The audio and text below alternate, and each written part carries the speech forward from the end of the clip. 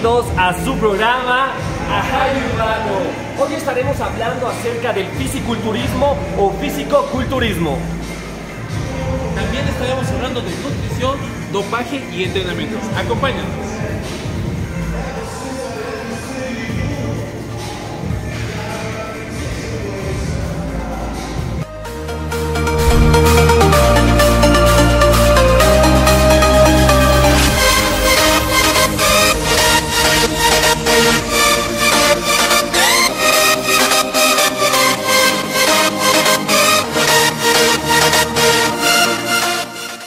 Estás, Fernando? Un gusto, yo soy Jorge, el.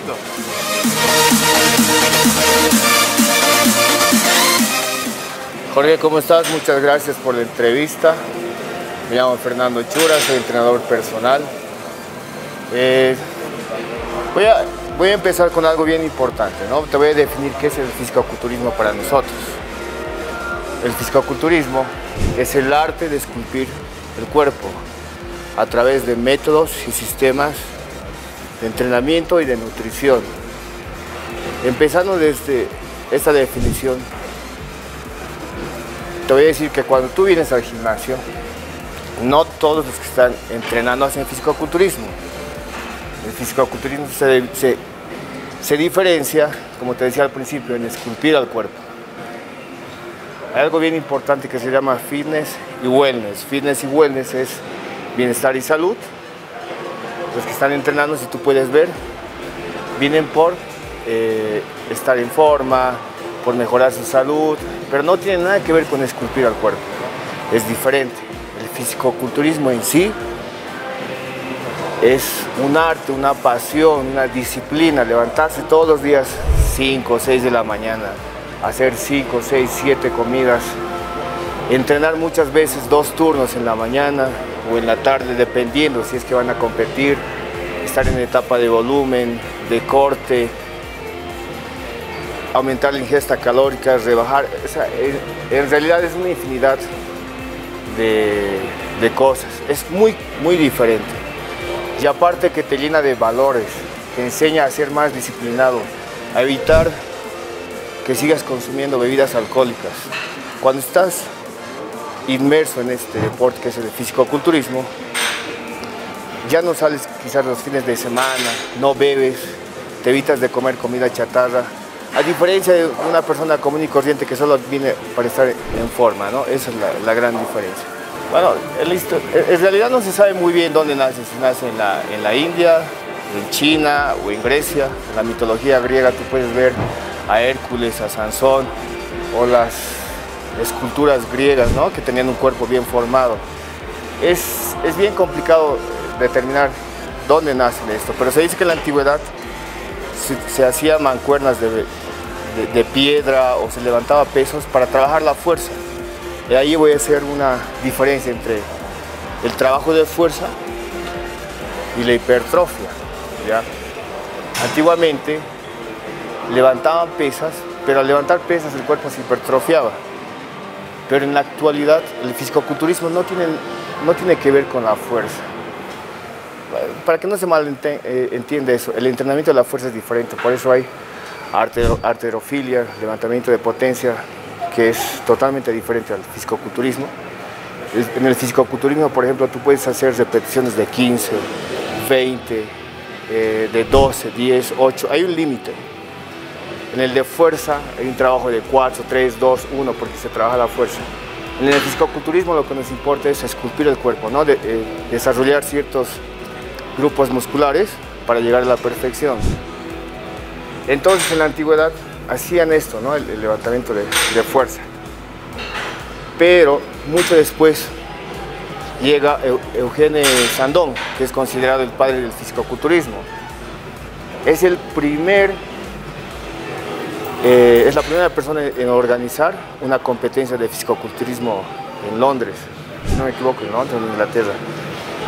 Eh, es ahí donde se innova con las poses. No te olvides que el fisicoculturismo, en, en- en cuanto a competencia, está ligado más a las poses en general, ¿no? Por ejemplo, doble bíceps, expansión dorsal, algo de pecho. Entonces, hay poses reglamentarias que le tienes que mostrar al juez. Y el trabajo, y el mejor trabajo con definición, volumen, eh, rocosidad, eh, vascularización, un cuerpo en B, etcétera, etcétera, será el que, el que gane al final. Entonces Sandón es el primero que trae y, arma una competencia. Te estoy hablando más o menos de 1900. Ya en esa época es donde empieza a surgir los eventos de fisicoculturismo, pero con poses reglamentarias. Sandón es el que inicia con, empieza a vender libros de entrenamiento, de nutrición y a popularizar y a comercializar con barras, mancuernas para que la gente pueda entrenar, ¿no? Luego de esto, a partir de 1900, llega la época de oro, que es como en 1960, 40, 60, con los que más conocidos como Arnold Schwarzenegger, Franco Columbo, Steve Reeves y otros. Sin duda es la época de oro porque es donde tú puedes encontrar desde 1900 a 1960 un gran cambio en los cuerpos de los eh, fisicoculturistas. Unos cuerpos muy grandes, muy trabajados, perfectamente desarrollados, a diferencia de los de hoy. Los cuerpos actualmente del fisicoculturismo son monstruosos, completamente diferentes a los de los 60.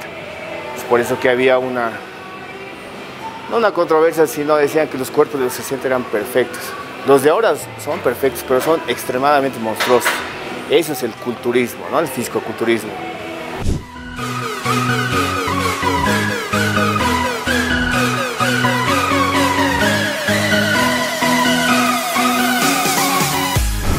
Continuamos hablando de físico-culturismo y para ello yo quiero saludar aquí a uno de los entrenadores. Pablo, ¿qué tal? ¿Qué ¿Cómo tal? estás? ¿Cómo gusto. estás? El gusto todo mío.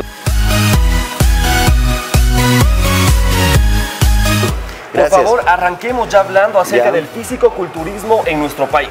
Bueno, el fisicoculturismo en nuestro país es algo que están haciendo, donde, donde tenemos más fuertes en el oriente, en Santa Cruz, ¿no? Sin embargo, estamos empezando a cultivarlo mejor aquí en La Paz, ¿no? Eh, tenemos eh, varias asociaciones que se dedican hoy en día a, mm, inculcar el fisicoculturismo, a producir campeonatos para que podamos estar a nivel internacional. No es muy conocido, hemos tenido muy buenos representantes afuera, eh, como Rubén Becerra, Willy Méndez, te- ahorita no recuerdo a todos los capos que, que tenemos en Bolivia, pero ha habido una excelente representación, sin embargo, eh, se ve em- ah, achicada, eh, se ve empequeñecida al lado del, del gran contingente que tiene Brasil o Argentina, digamos, ¿no? que tienen varios atletas ya profesionales. La forma de llegar a ser profesional en el medio, ¿cuál es? Es eh, ganar la medalla de oro en categoría en el extranjero en un campeonato Pro Qualifier y luego clasificarse para el overall, que es el- como el absoluto, donde todas las categorías se enfrentan. Y solo los que sacan oro, plata y bronce llegan a conseguir la- el título profesional. O sea, es, es un- es una carrera bastante complicada. Y es un proceso, ¿verdad? Claro, Bastante porque- largo. Una pregunta, Pablo. Si estamos hablando acerca del físico-culturismo, ¿esto lo podemos tomar como de, de repente alguna carrera? ¿Esto tiene alguna formación teórica práctica de unos cuantos años? ¿O es simplemente, como tú mencionabas, eh, teniendo experiencia en este ámbito, ganando medallas? Eh, bueno, yo quiero separar muy claramente lo que es un atleta de un preparador. Un atleta tiene que ser preparado por un entrenador profesional. El entrenador profesional tiene que tener formación profesional, tiene que tener estudio, tiene que, tener, eh, tiene que ser entrenador profesional titulado, mejor si la titulación es, es, eh, internacional, homologada. Eh, tiene que tener conocimientos en nutrición, mejor si es nutricionista, y también tiene que tener conocimiento en farmacología, mejor si es farmacólogo, y si es, mejor si es farmacólogo deportivo. ¿no? Entonces, todas estas eh, tres instancias se las maneja para lograr que un atleta pueda llegar a instancias nacionales. El atleta, a su vez, eh, no es un entrenador personal, no es un entrenador. El atleta debería eh, prepararse para ser atleta y si quiere ser atleta profesional y vivir de eso es una cosa vivir de ser atleta y otra cosa es vivir de ser entrenador. Son dos carreras que se, que se juntan, que se conocen, pero que no tienen que interferir o intervenir el uno con el otro, ¿no? Por supuesto, Pablo. Claro. eh, Algo que me llamó también la atención bastante es que tú mencionabas que en el Oriente hay más, ¿verdad? Esta cultura del exacto. físico-culturismo. Exacto. ¿Tú crees que el clima depende mucho de ello para que el cuerpo pueda desarrollarse de mejor manera o de manera más rápida? ¿Esto puede influir? En una primera instancia yo creía que era así, que el, que el clima, la altura, la oxigenación tenía mucho que ver. Pero una persona que ya ha nacido acá es una persona que tiene, em, que se ha adaptado físicamente, o sea, las adaptaciones físicas del atleta en Bolivia dependen, eh, y en cualquier lugar en el mundo, dependen de dónde ha nacido, ¿no? O sea, tenemos ya generaciones atrás que hemos nacido en la altura, entonces eso nos va a permitir eh, desarrollar las capacidades para desarrollar músculo, eh, eh, que la digestión sea a la misma velocidad que en, el, que, en el, que en lo bajo. ¿no? Es más, el rendimiento de un atleta que baja, donde hay más oxigenación, es mucho mayor, es mucho más resistente, se cansa menos, asimila mejor los alimentos, pero tiene otros, otros contras, ¿no es cierto? La presión atmosférica es mucho mayor, entonces si el atleta no ha manejado bien los niveles de sodio, puede hincharse y eso no conviene para nada en el fisicoculturismo, ¿no?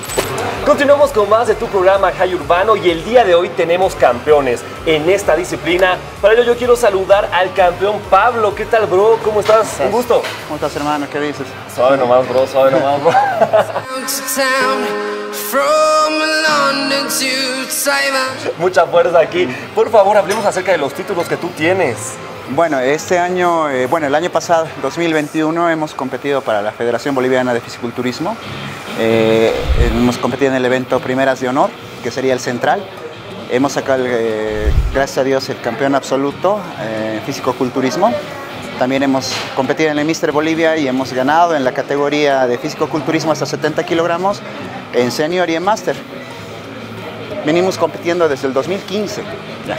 Desde el 2015 que Pablo ya está inmerso en esta disciplina, quisiera que nos hables acerca de tu preparación. ¿Cuánto tiempo previo has tomado esta decisión? Bueno, en, en sí, eh, cuando ya le tomas mucha seriedad a, lo que es este deporte, llevas casi todo el año preparándote, ¿no? Tratando de no descuidar la dieta, llevando muchos aspectos, ¿no? Ya seis meses antes ya empiezas a, a- a- a- a- ¿cómo se dice? acelerar motores y ya para estar listo para la presentación, con mucho tiempo de antelación, ¿no? Con Por tiempito. supuesto. Y algo importante dentro de esta preparación es la dieta, ¿verdad? Muchas veces dicen que más hace la dieta que el entrenamiento, ¿verdad? ¿Esto es cierto? Eh, claro que es cierto, pero yo le diría un 100% de uno, 100% del otro, ¿no? Porque uno no trabaja sin el otro, ¿no? Eh, entonces eso, muy importante, ¿no? Igual, como me estaban hablando de la dieta, ¿no? Hay una dieta y que es la para la etapa de corte, es muy diferente de la de etapa de volumen. Perfecto. Y también el entrenamiento igual varía bastante. Claro, y dependiendo también la disposición de la persona, ¿verdad? Tú lo mencionabas, eh, lo mejor es dar 100% en cada una de las cosas, como el sueño también es muy importante. El sueño. Ajá. Claro, sí, es bien importante, es bien importante, porque en es- en el- en el- eh, cuando dormimos es cuando crecemos, cuando dicen, ¿no? Y también tenemos más energías para trabajar al día siguiente. Y bueno, seguimos con más de tu programa y vamos a hablar con Jennifer para ver su perspectiva de lo que es este ámbito. ¿Cómo estás, Jennifer? El puñito, ¿cómo te encuentras? Hola chicos y chicas.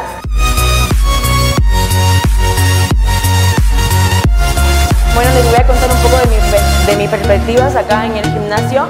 Hace un tiempo he estado yo acá, o sea, el tema de fitness. Chicos, no es solamente el tema de, por ejemplo, decir, no, tengo un buen físico, voy al gimnasio para estar súper bien, o no. O sea, llego acá, chicos, y creo que dejo todas mis energías negativas acá en el gimnasio. O sea, me siento súper bien, hago todo mi esfuerzo, doy todo lo, lo mío, sí, todo lo que puedo, porque sé que cuando termino la jornada, o sea, voy a sentirme mejor, voy sentirme con más fuerzas, con más positividad, con más energía. Chicos, los exhorto de verdad a que, o sea, que se sientan así, de que puedan, o sea, transmitir esta vibra que yo siento igual. O sea, el tema de, por ejemplo, conocer a personas así igual, que yo decía, wow, o sea, qué fuerte, yo decía, no, yo no, yo no me quiero ver así. Y sin embargo, cuando ya voy experimentando esta, es- es- este tema, o sea, venir todos los días, tener un horario, tener una dieta, comer sano, o sea, conocer personas que también estando conmigo. Es súper cool. Les exhorto de verdad que lo pasen por, por todo, o sea, por, por acá, por el espacio y que puedan transmitir también esta vibra a todas sus amistades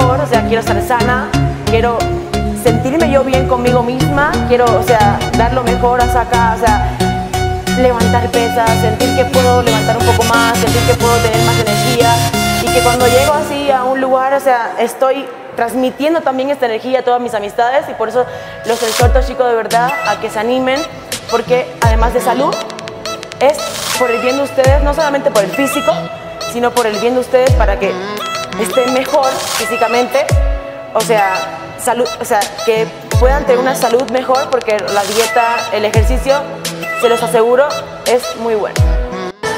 Continuamos hablando acerca de esta disciplina y yo quiero saludar aquí al entrenador Joao. ¿Qué tal? Hermano, un gusto. Bueno, por favor, háblanos acerca de algo que es muy importante dentro del fisiculturismo, lo que es la nutrición. Claro que sí, mira, la nutrición abarca, eh, es un tema muy amplio. Si hablamos del fisiculturismo, eh, tenemos que hacer una planificación acorde a la persona, acorde al objetivo que quiera realizar esa persona. Eh, no importa si tienes un porcentaje de graso bajo o muy elevado, siempre y cuando tengas la disciplina y la constancia puedes lograrlo. Obviamente eh, eso va a influir mucho en el entrenamiento, va a influir mucho en tu disciplina. Si te dedicas, si quieres dedicarte a esta disciplina, necesitas tener en cuenta de que no se logran los objetivos de manera rápida. Tienes que tener un proceso de adaptación. La constancia va a ser la diferencia entonces, ¿verdad? Sí, eso es ¿Será correcto. que nos puedes hablar acerca de los tipos de dieta, por ejemplo, que se puede dar? Eh, mucho depende del tipo de cuerpo que tenga la persona. Cuando la persona ya está enfocada en realizar una actividad física y se va a ir al fisiculturismo, es muy importante tener en cuenta los parámetros sobre la nutrición. No todos debemos, no todos podemos adaptarnos a la misma eh, dieta. Por ejemplo, yo, yo puedo seguir una, misma, una dieta, quizás tú la puedas seguir, quizás no. Sobre eso va la planificación, el gasto calórico de cada persona, el peso de la persona, influye mucho. Si estamos hablando acerca de los tipos de cuerpos, existen de- eh, diferentes, ¿verdad? Eso es correcto. ¿Como cuáles más o menos? ¿Cómo nos puedes describir? Están los mm, ectomorfos, los mesomorfos, eh, que son cuerpos ya que algunos asimilan los carbohidratos mucho más rápido que otros. Los ectomorfos, por ejemplo, eh, los carbohidratos no los asimilan tan rápido, su contextura es más delgada y tienden a, a procesar los alimentos más rápido, gastan más calorías y la dieta debe ser alta en calorías para poder llegar a un objetivo específico. Que siempre va a haber un momento donde salgamos de la alimentación y eso va a traer consecuencias. Obviamente no hay alimentos malos, siempre y cuando tú lleves un ritmo y tengas la capacidad de tener tu gasto calórico real, porque mucho va a depender del gasto calórico. Por ejemplo, yo te puedo decir, mira, mi gasto calórico es de 2.500 calorías. Si yo mantengo ese régimen y puedo salirme un momento a comerme, no sé, cualquier comida chatarra, puedo hacerlo. Lo importante es seguir el régimen alimenticio y obviamente el entrenamiento, que es fundamental.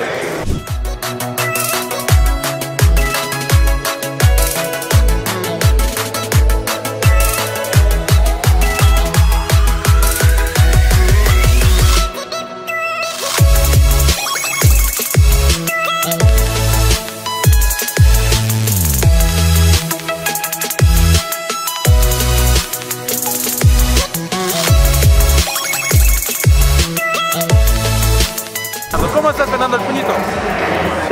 están? Muy buenos días. Eh, agradecidos por la invitación y prestos para responder cualquier pregunta.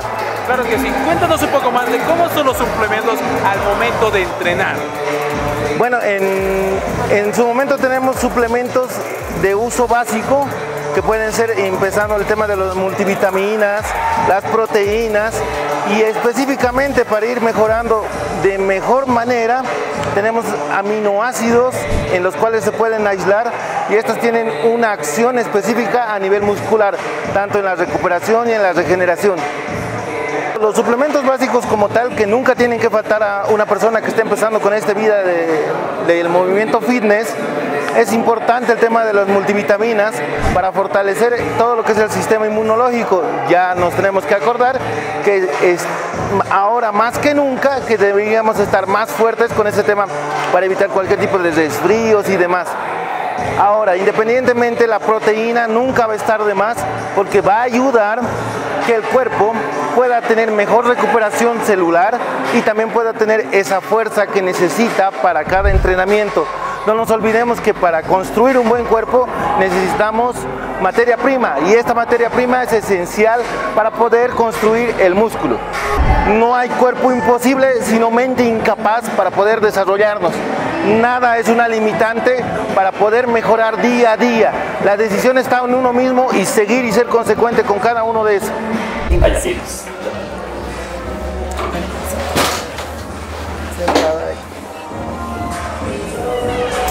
Bueno, y algo muy importante al momento de querer ingresar al mundo del fisiculturismo es justamente la evaluación física. Y para hablar acerca de este tema, quiero saludar a Iris.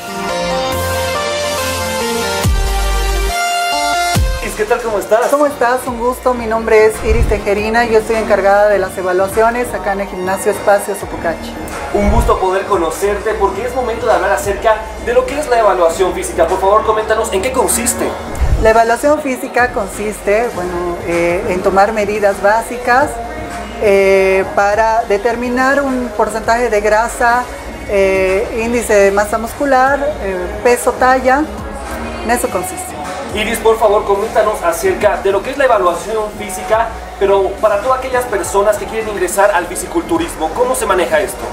Bueno, en realidad es un diagnóstico preventivo para evitar problemas de salud más adelante, son personas normales. Ahora, personas que realizan eh, físico-culturismo como tal, eh, eh, siempre tienen más incremento de masa muscular y la mayoría de las veces menos porcentaje de grasa, de- de acuerdo a la etapa en la que se encuentra. La mayoría de las veces los fisicoculturistas siempre quieren tener más masa muscular y menos porcentaje de grasa. En otras palabras, verse marcados.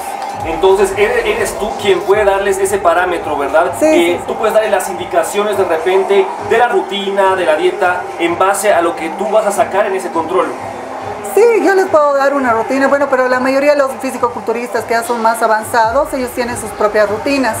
Ellos tienen sus propias rutinas y trabajan bueno, ya años ¿no? en esto, porque trabajar en fisicoculturismo es tiempo, es tiempo. Ganar masa muscular es con mucho tiempo, años de trabajo. Por supuesto, tiempo, constancia, amor a lo que haces, ¿verdad?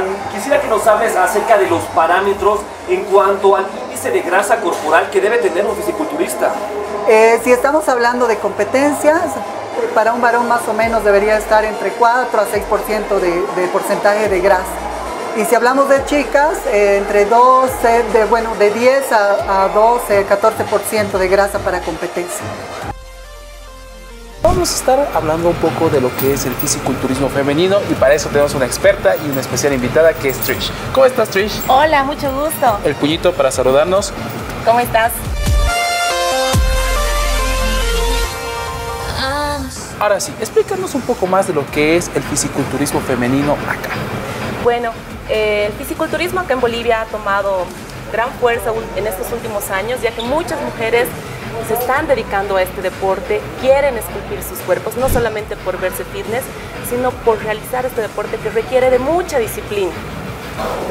Trish, coméntanos un poco más de cómo tú en- entraste a lo que vendría a ser el fisiculturismo.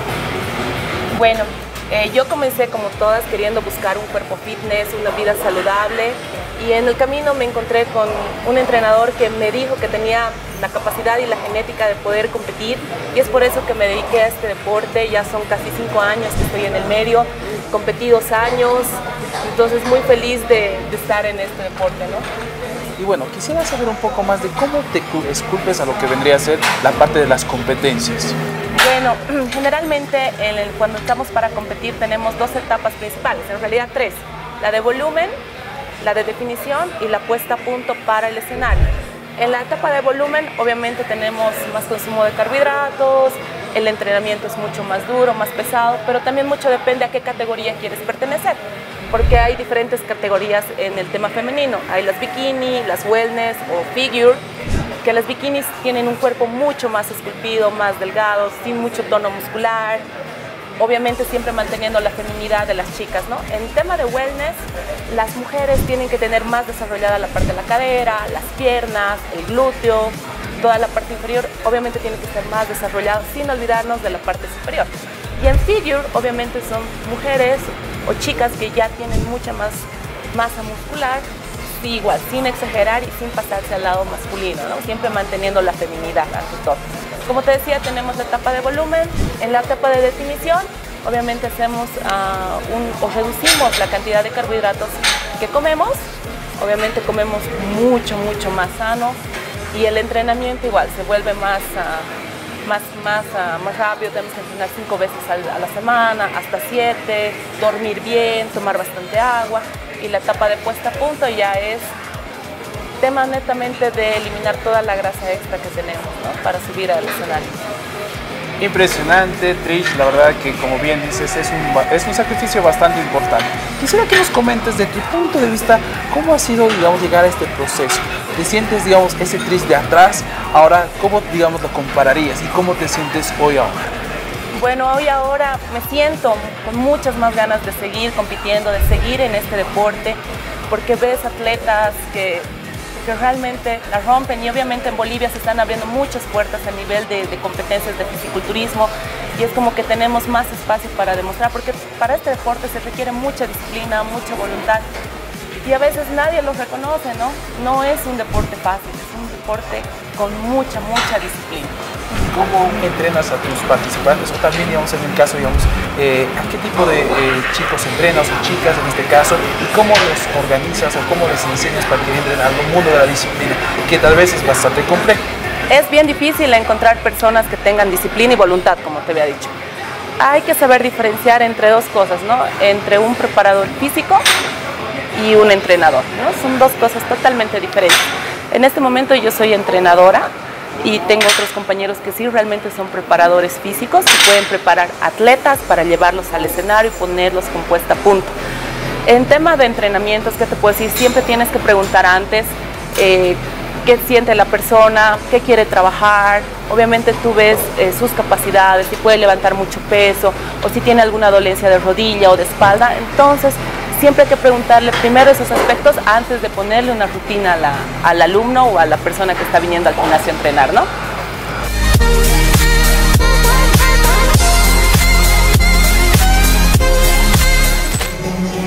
Ya lo sabes, mente sana en cuerpo sano. Y no se olviden que el límite está en la cabeza. Punto final a la entrega de hoy. Este fue tu programa. Ajá, Urbano. Chao, chao.